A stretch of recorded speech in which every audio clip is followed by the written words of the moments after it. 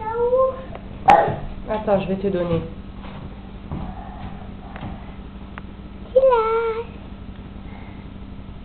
Tu prends en photo.